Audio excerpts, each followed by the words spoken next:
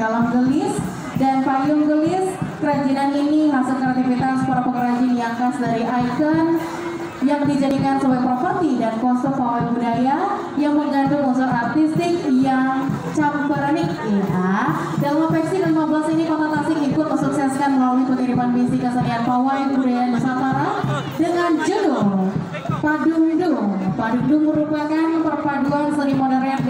tradisional abu lengser, kedua jenis kesenian yang berbeda ini disengaja dipadukan menjadi satu kesatuan yang utuh dari hasil karya seniman budayawan kota Tasik Malaya. Hadirin inilah kota Tasik Malaya, Irama Badekan Tasik. Selamat menyaksikan.